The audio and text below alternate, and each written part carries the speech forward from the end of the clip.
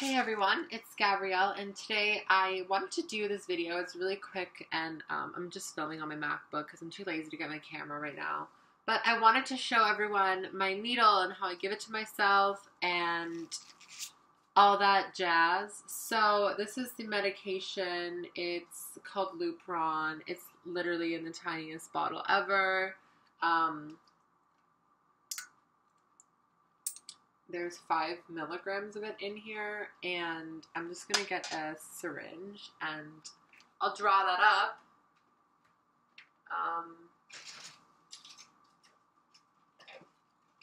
so I have to fill the this needle. I'll show you what it looks like. So it's pretty small.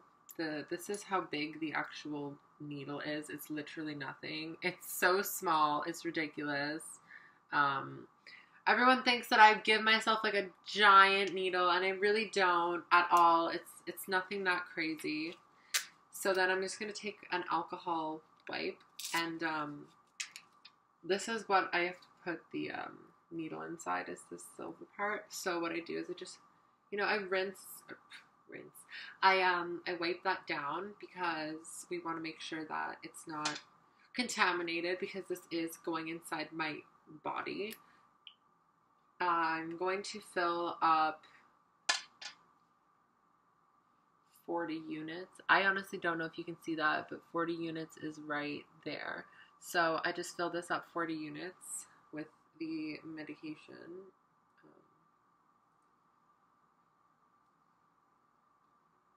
Usually I have my mom or my dad here to give it to me, but because my dad is doing exams right now and my mom's working, um, I'm going to give it to myself, which is not a big deal. I do it a lot. So I'm just going to cap it because we always want to cap it after you draw it up. And I'm going to put the medication away. And then so because this needle is subcutaneous, it has to go into this right here, this um, muscle. I, I'm not a nurse, I don't know. But I know it's subcutaneous, so it's not going to hit any bones or anything. And I'm going to just go like this and um, wipe my arm. And um, I'm just literally gonna go like this, take my needle, and one, two, three, put it inside. And then we're going to just push it in. And take it out. It was that simple. It's not difficult to give myself a needle. I do it every single day because it's what works for me. And it doesn't hurt at all. It's just a needle. Nothing special. It's really something that if you're overreacting because of a needle, it's not that bad. Unless it's huge. But trust me, I've had needles go into my leg that were this big. I have a video on that. I can actually um, link it.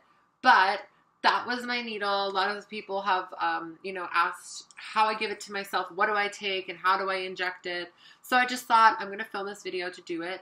And um, yeah, I do this every single night.